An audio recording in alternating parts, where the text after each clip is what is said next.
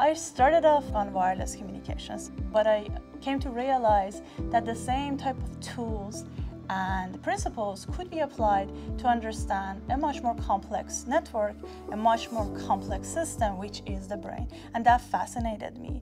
It's uh, basically a supercomputer in our life that we have very little understanding of. People used to say, well, space. Space is the final frontier. Um, but really, compared to what we know about the brain, we know so much more about space.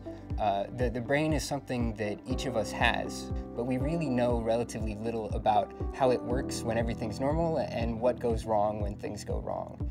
The applications are uh, uh, enormous and have you know, immediate sort of relevance and impact. My own research sort of is driven by things that have some direct societal meaning uh, for me, particularly in the area of mental health and mental health uh, research and care. So we want to know how we can quantify in a data evidence-driven way uh, characterizing conditions such as you know autism spectrum disorder or major depressive disorder, uh, addiction, and, and, so on. Our labs developed uh, a new way of characterizing leakage of the blood-brain barrier with unprecedented resolution. And the way we did it is we um, applied some of the principles that are used in compression of movies and things like that we applied those principles to the actual acquisition of MRI uh, data, and we were able to achieve comparable um, improvements in resolution, in our case factor of 30, uh, to characterize very, very nuanced uh, in the blood-brain barrier. One main uh, area that we're interested in is developing uh, brain-machine interfaces. If somebody is paralyzed, meaning they have a spinal cord injury, they can still think or imagine movement, but they cannot communicate that to the muscles.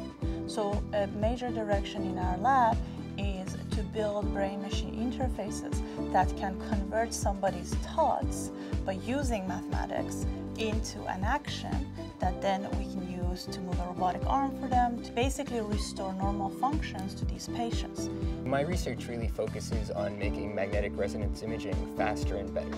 So what we are really trying to do is to apply uh, signal processing theory to actually ask the question, how can we improve getting these samples from the MRI scanner? How can we design that? We're able to do things now that would allow a multi-hour experiment to be done in a matter of minutes. With these types of increases in speed, we're really able to do new science that we were never able to do before, and we're able to detect diseases and monitor responses to therapies and things like that in, ways that weren't possible before. We develop a, a piece of software called BrainSuite, uh, which allows you to take magnetic resonance images of the brain and automatically extract representations of the different brain structures. One of the applications that we currently work on is epilepsy. In particular, we're interested in, in, in finding small abnormalities in the brain that can't be seen by visual inspection of an MR image. So we've developed computational techniques that will analyze the cerebral cortex, the outer layer of the brain, and can automatically detect these. Generally, our goal is to produce some dramatic improvement in our ability to understand human health and disease. And when you have a goal like that, um, it's very easy to become innovative.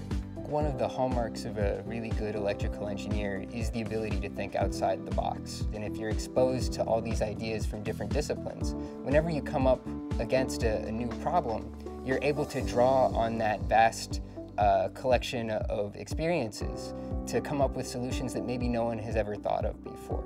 These are all uh, new fr frontiers of research that I think engineers can significantly contribute to. It really fascinated me that I could bring in the same types of tools instead of decoding a wireless signal, decode the brain signal.